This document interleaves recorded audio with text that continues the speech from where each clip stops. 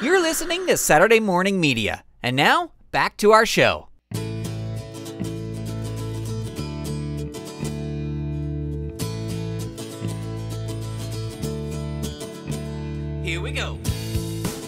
Welcome back once again to the Grant Cast, ladies and gentlemen. My name is Grant Baciocco, and it is an absolute pleasure to have you here listening, downloading, following along as I ramble incoherently uh, about things going on. And uh, it's just a pleasure to have you here. We're really trying to keep the Grant Cast on schedule, so uh, that's why you're getting this episode here today. Hi, friends. It's great to talk to you. I just got back from traveling. I went to Oregon uh, to visit my parents. My parents moved to Oregon several years ago. My mom grew up in Oregon. I think I've talked about all this. Um, on before that I would spend two summers, blah, blah, blah, blah, blah. Uh, but it was great to see my parents. Hadn't seen them in about a year, a little over uh, probably a year and a half. And uh, great to see some of my cousins as well and uh, do a little reminiscing about the good old days. And uh, yeah, it was a it was a lovely trip. A lot of driving, uh, drove instead of fly, um, but uh, still, um, I, I love driving. Uh, driving is one of my I can drive forever. You need someone to drive across the country, you got it. I will uh, scoot over. Let me drive. Um, so I love driving, and uh, this was a good trip. I recently decided.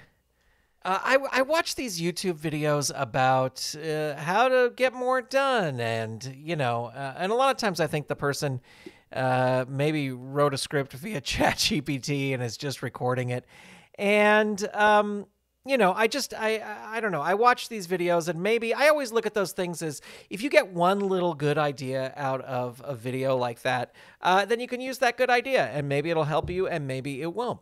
And the idea that I got from a recent video I watched was this idea of having a dumb phone. And they do sell dumb phones that only do texting and voice. That's it. Um, and I, I could not do that. But what I, I really loved about this is this guy said he had two phones and he had his phone that he takes to work and the apps on the phone that he takes to work are just super stripped down. So he doesn't have all these social media apps. He doesn't have uh, food ordering apps. He doesn't. He just has the basics that he might need um, on that phone. And then on his other phone, uh, he called it his. Uh, I think in the video he called it his crack phone.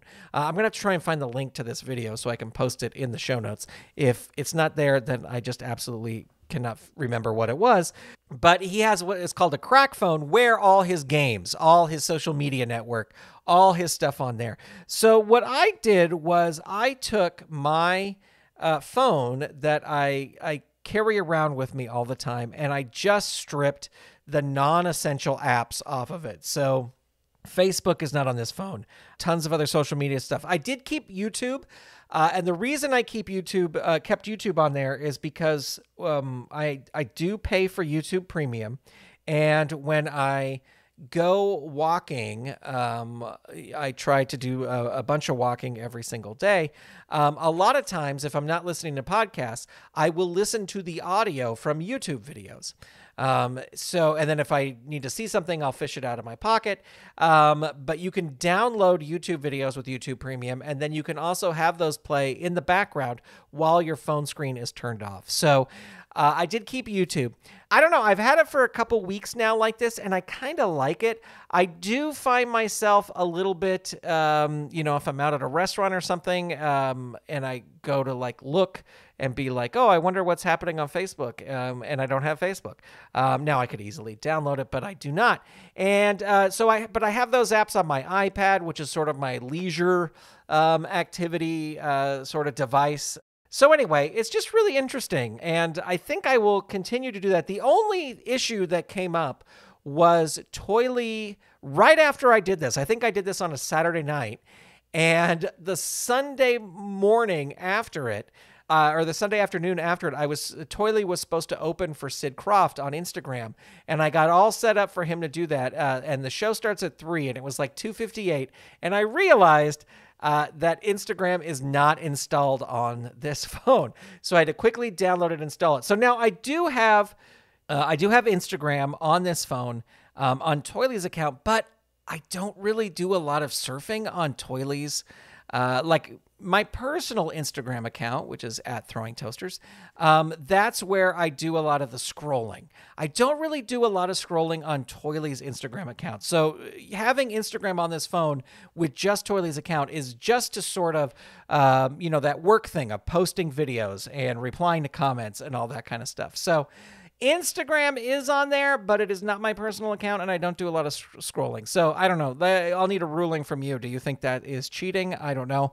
Um, there's no really rules to doing this on your phone, but uh, anyway, it's it's interesting, and I like it, and I like not being distracted, and I I find myself like, oh, I should post this on Facebook oh, I can't, I will have to post it later tonight.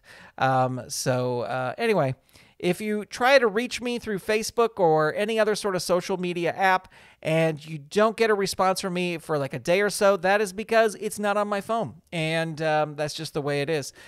The other thing I wanted to talk about is man, oh man, we there's a lot of famous people kicking the bucket uh, recently, and I don't say that in a in a crude way, but it kind of started for me with Joe Bonsall from the Oak Ridge Boys. Um, I'm sure I've talked about the Oak Ridge Boys before on here. Uh, when I was a kid, my grandma Donnie, my mom's mom, loved the Oak Ridge Boys, loved them. And uh, so, coming up, uh, as I said, for two weeks every summer to Oregon, I heard a lot of Oak Ridge Boys growing up. And, um, you know, a song like Elvira to a kid is really catchy and it's a fun song because um papa um papa mau mau right? So i loved all these oak ridge boys uh, th- uh, songs and i didn't have cds by them when when cds became a thing and i really didn't even when sort of you know apple music store became a thing. It never dawned on me to to download some of the oak ridge boys stuff and i'm trying to remember what it was. I can't remember exactly but I just I downloaded one of their albums and I just slowly this was probably about maybe 10 years ago. I slowly started getting back into the Oak Ridge Boys. And then uh, went to a few Oak Ridge Boys shows that were fantastic. And then the cool thing was when I went on tour for Mystery Science Theater, or sometimes we'll pump it up, uh, but definitely the two tours of Mystery Science Theater, we would play in these venues where the Oak Ridge Boys had played. And a lot of times in these performing arts centers or these other concert venues, backstage will be all these posters um, or painting on the wall of acts that have been there before. And it was always really fun to see that the Oak Ridge Boys had been there because. I don't know. I just kind of always thought that Grandma Donnie would think that that was pretty cool. Uh, that that I uh, that I played where the Oak Ridge Boys would play. And uh, on before Twitter became a disaster area, I would kind of tweet out like, "Hey, playing another venue where the Oak Ridge Boys are playing," and I would tag them, and they they retweeted it a bunch of times. And I think I would have to check. I, I have not been on Twitter um, uh, in forever. Um, but uh, I think the Oak Ridge Boys followed me, and I think Joe Bonsall followed me. And I did a thing with Uncle Interloper, my puppet Uncle Interloper, where I did sort of a lip sync to one of the Oak Ridge Boys songs uh, called Dig a Little Deeper in the Well, which as a kid was one of my absolute favorite Oak Ridge Boys songs. And that. Uh, I made a little video of uh, Uncle Interloper and the Three Worms uh, lip syncing to that, and Joe Bonsall actually commented on it and said, "Wow, this is this is really awesome," or something like that, which I thought was cool. And then one time I tweeted a story about how I went to an Oak Ridge Boys concert with Grandma Donnie and she uh, she snuck a tape recorder in to the Circle Star Theater to bootleg the show. And uh, this was the early 80s, so you can imagine how big this tape recorder in uh, was. I mean, it was like one of those, um, you know, flat ones with all the buttons down at the one end and the big speaker down at the other end. But put that in her bag, and like, how did she disguise that from the? I mean, I guess security was a lot more lax than it was now, but there was still some security.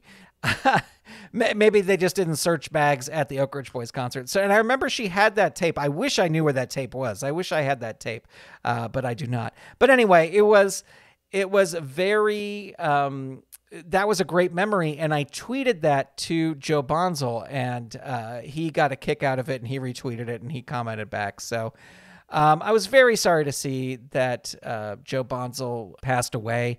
He was the youngest of the uh, four Oak Ridge boys. There's been a lot of different Oak Ridge boys over the years, um, but he was the youngest of the four. So it was uh, very surprising that uh, he went first, but he was a good guy. I never got to meet him.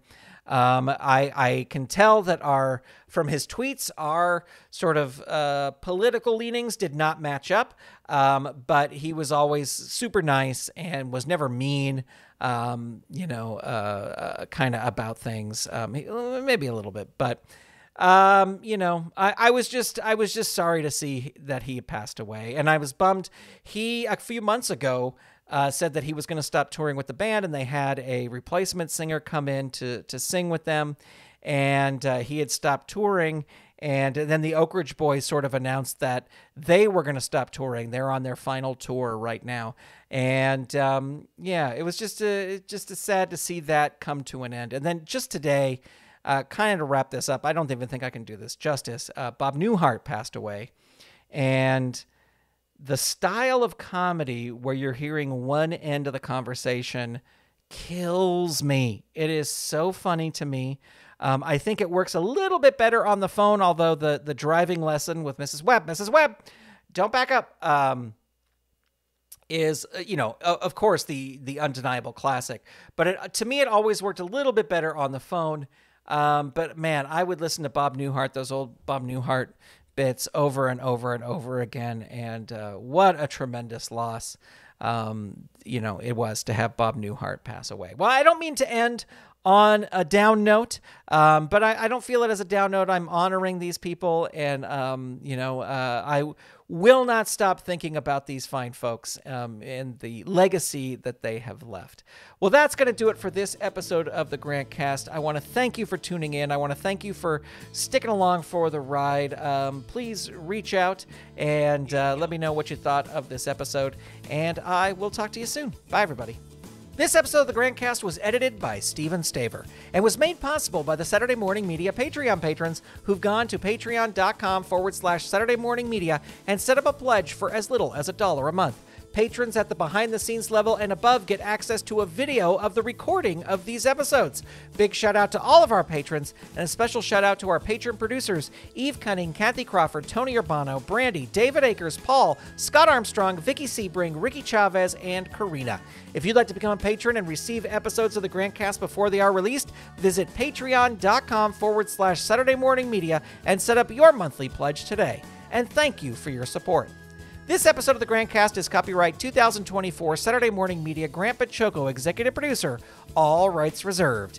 www.saturdaymorningmedia.com. You've been listening to Saturday Morning Media. Stay tuned. We'll be right back.